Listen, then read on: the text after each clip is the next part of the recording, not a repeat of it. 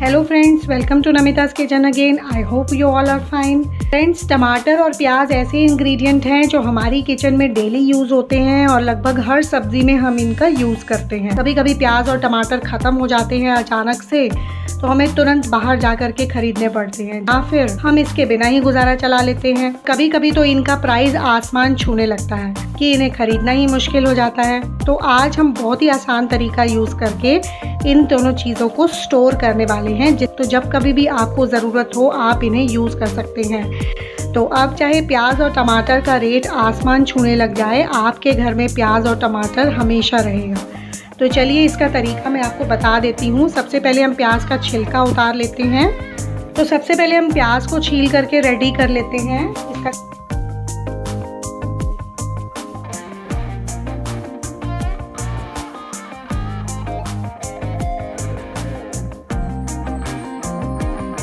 प्याज को मैं पतले पतले पीसेस में कट कर लूँगी।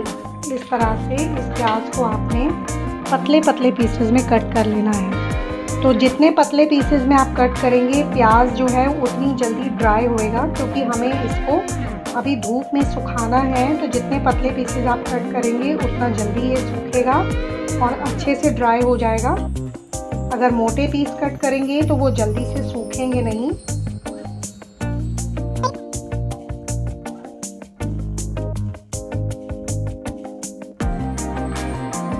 ये देखिए, मैंने इस तरह से प्याज को बिल्कुल पतले पतले स्लाइसेस में कट कर लिया है। स्लाइसेस बिल्कुल पतले होने चाहिए, तभी ये आराम से और जल्दी सूख पाएगा और बहुत अच्छे से ड्राई हो जाएगा। तो इसी तरह अब हम टमाटरों को भी रेडी कर लेते हैं। टमाटरों को मैंने अच्छे से वॉश करके इनको सुखा लिया है। अब हम इनको भी पतले पतले स्लाइसेस में कट कर लेंगे। इस तरह से। देखिए, इस तरह से मैं इनको बिल्कुल पतले पतले जितने पॉसिबल हों मतलब जितने पतले पॉसिबल हों, आप उतने पतले स्लाइसेस में इसको कट करिए। इस तरह से ये देखिए, कितना पतले स्लाइस में मैंने इसको कट कर लिया है। आप गोल गोल स्लाइसेस भी कट कर सकते हैं और इस तरह से लंबे लंबे स्लाइसेस भी कट कर सकते हैं।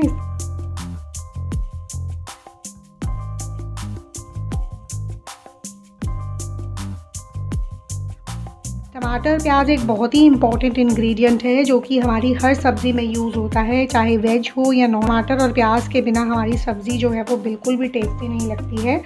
और जब टमाटर बहुत ज़्यादा महँगे हो जाते हैं या प्याज बहुत ज़्यादा महँगे हो जाते हैं तो हम उनको और उनको अफोर्ड कर पाना मुश्किल हो जाता है। तो ये टिप जो है, ये बहुत ही काम की टिप है। इससे आप टमाटर, प्याज को स्टोर करके रख सकते हैं। वो बिल्कुल भी ख़राब नहीं होते हैं। तो हमेशा मेरे लिए टमाटर और प्याज का रेट जो है, वो सेम रहता है। तो चाहे मार्केट में टमाटर या प्याज का रेट सौ रुपये किलो हो या दो सौ रुपये मैं इसे हमेशा ही बीस रुपये में यूज़ करती हूँ। ये मैंने प्याज और टमाटर को लंबे लंबे और पतले पतले स्लाइसेस में कट कर लिया है। बस अब हमें कुछ नहीं करना है।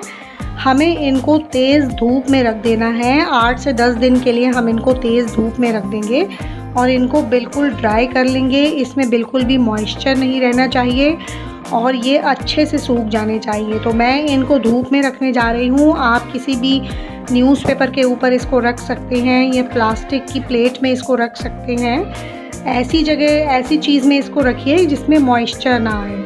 और चाहें तो आप ऊपर से इसको जाली से, किसी पतली जाली से कवर कर सकते हैं ताकि धूल मिट्टी इसके ऊपर ना पड़े। तो अब मैं इसको धूप में रख देती हूँ और सात आठ दिन के बाद हम इसको चेक कर लेंगे। अगर इसमें मॉइस्चर रहता है सात आठ दिन के बाद भी तो आप इसे एक दो दिन के लिए और ड्राई करने के लिए रख जाए।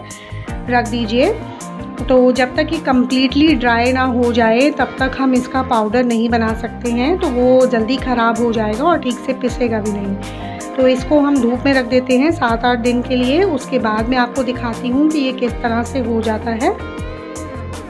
अब ये बिल्कुल ड्राई हो चुके हैं। इसमें बिल्कुल भी पानी नहीं है। ये देखिए, बिल्कुल ड्राई हो चुके हैं ये। तो अब हम इसको मिक्सर में ग्राइंड करेंगे और इसका पाउडर बना लेंगे। तो सबसे पहले हम प्याज का पाउडर बना लेते हैं। ये मैंने ग्राइंडर में प्याज को डाल दिया है। अब हम इसे ग्राइंड कर लेंगे।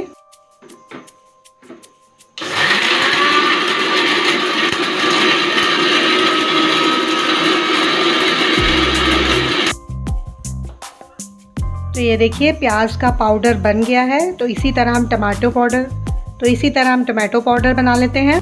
तो इसी तरह से हमने ये टमाटो को भी ग्राइंड कर लिया है। तो ये हमारा टमाटो और अनियन पाउडर बन कर के बिल्कुल तैयार है। ये मैंने आपको डैमो के लिए थोड़ा सा बना के दिखाया है। अगर आपको बनाना हो तो कम से कम दो दो किलो की क्वांटिटी का पाउडर बनाइए और आप इसको कई महीनों तक स्टोर करके रख सकते हैं। जब भी आपके पास प्याज और टमाटर अवेलेबल ना हो तो आप इन्हें यूज़ कर सकते हैं।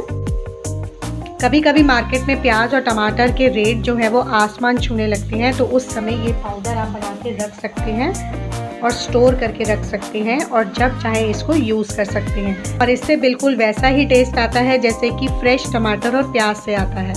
आप इसे सभी सब्जियों में यूज़ कर सकते हैं। सूखी सब्ज़ी, ग्रेवी वाली सब्ज़ी, सभी सब्जियों में आप इसे यूज़ कर सकते हैं और सब्ज़ी के टेस्ट को बढ़ा सकते हैं। होप आपको आज का मेरा वीडियो ज़रूर पसंद आया होगा। अगर आपको आज का मेरा वीडियो पसंद आया है तो नीचे लाइक का बटन ज़रूर प्रेस करिएगा और मेरे चैनल को सब्सक्राइब करना मत भूलिए।